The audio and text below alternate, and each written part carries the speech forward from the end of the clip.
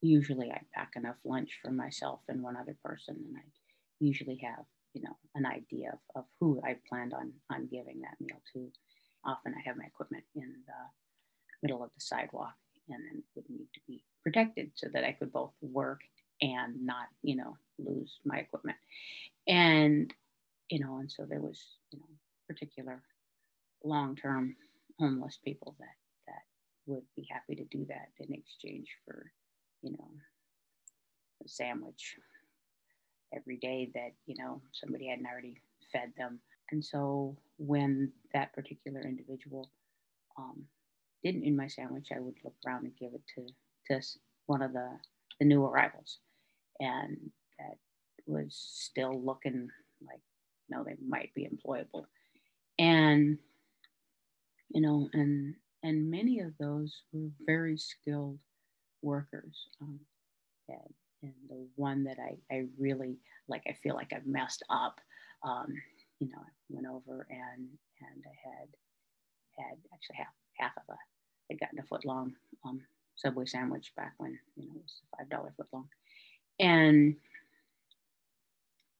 and you know there's a, a, couple there sitting on the curb at, at Coleman Dock, and I was like, "Would either of you like this sandwich?" And and they said, "Yes." What is it? And I went, um, "Yeah, one of the chicken ones with like all of the vegetables they had available on it, pretty much." And and you know, and so the, the woman started eating the eating the sandwich and and the guy says you know can, can you just tell us how to get home and and they were from the hollers of tennessee and you know you just help us figure out how to get home. And so i talked to him and, and he was was it was a mason and i'm like okay well you know I'll, I'll help you. I'll, i can I know somebody that's that's needing um, needing a a laborer on their mason crew, and you know, and his tools have been stolen, and and they've been here for I don't know a couple days, and and they've gone down to, and they weren't even they weren't begging. I never give to the, the active beggars, and you know, and and you know, and, and I gave him a number of, of somebody that was looking for for somebody to, you know,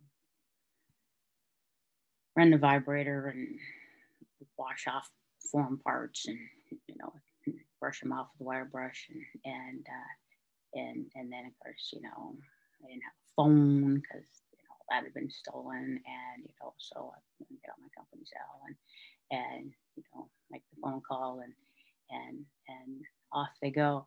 And as I'm walking away, I went, I actually know somebody who desperately needs a finisher. Um, like, um, hmm, I just got this really skilled mason. You know, I talked to him a little bit. I, you know, what projects he done. Really skilled mason, a laborer's job, and yeah, and I actually have like somebody that needed a mason, and oh, and I'd said I don't know any of like only like four days before. But, you know, most of the time when I, you know, was able to connect people to work, it just felt good. And I, you know, don't really remember those because, you know, it was, it was another one as opposed to the like, oh yeah, I just messed that up. But, you know, it wasn't my job to find him a concrete finisher. But hence why it wasn't on my mind. But the the other, you know, one that really, really kind of sticks with me is a guy that came out from Utah. And he was, you know, this really clean cut looking, you know, blonde kid. And, you know, and, and he's he's he's there at at right next to one of my my places that I worked almost every day, you know. So I go and I set up my equipment and and you know, and he's got a new cardboard sign that says says, you know, I just want to go home, you know, need $58.19 or whatever for, you know, for my Greyhound fare. And, and I went, well, you know, where are you from? And he said where he was from in Utah. And, and I went, well, you know, you can just take the city bus out to Issaquah and then, you know, find yourself a new marking pen and write down your hometown in Utah and just, you know, stand at this gas station with that sign and, and you'll get somebody that's, you know, going out 90 and, and when they get to the the state route 84 goes to interstate 84 and you know get to 84 and they'll take you over to 84 and they'll take you home. And you know and it was fairly late in the day. Um, it was probably 8 p.m and you know bus leaves at 6.20 from you know union station. And you know he left and he was he was thrilled just to be able to leave and he did a, you know he was he was in a good spot. He had you know a road decking over overhead. He had ivy underneath him. It was you know it was a little lumpy and bumpy but it wasn't you know the cliffs you see people camping on. And you know now it, only been a few days. You know we hadn't even really reached hungry yet. He found the soup kitchen. Um and he was just desperate to leave and that yeah oh, another one come to mind. Um, you know I'm, I'm, there i'm behind the construction fence and and you know I'm busily doing my my thing and and one of the junkies jump off this little pony wall and and attack this guy and knocked him over and and uh, you know and then she ran off. Um, she tried to you know tried to steal his cell phone. Um, he was quite a bit bigger than her. He managed to hang on to his cell phone, and and I, and and you know, and he stands up and I'm like, "You you all right, dude?" And and he's like, he's like, "I just want to go home," and I'm like, "Well, you know, where's home?" And and he goes, "You know, I just want to go home." I'm like, "Yeah, I heard you the first time."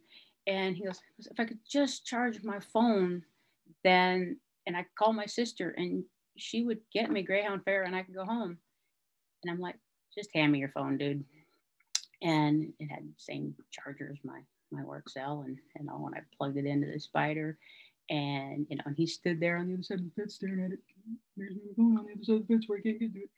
And you know, and when I got done working there, and I'm like, like you know, handed it back to him and was like, like, no, anything else? And and and he opened it up, and as I'm, you know, walking off, he's calling his sister, and you know, I never saw him again.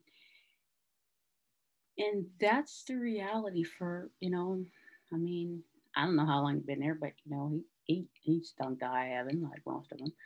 And you know, it's it's hard because once you get to a certain point of filthy, you're no longer welcome to go inside and use use the facilities and you know and and you know it's just like you know just more the the homeless rubble that you know decorate our city. And you know so stay stay ahead of the curve, stay clean.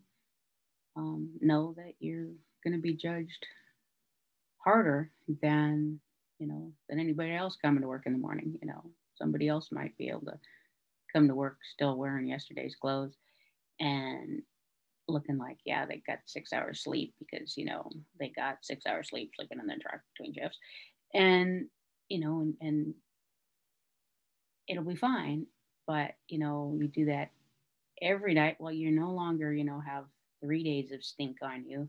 You have three weeks of stink on you and you're just not just an overtired construction worker that hasn't gone home because you haven't had enough time between shifts to drive home take a shower and drive back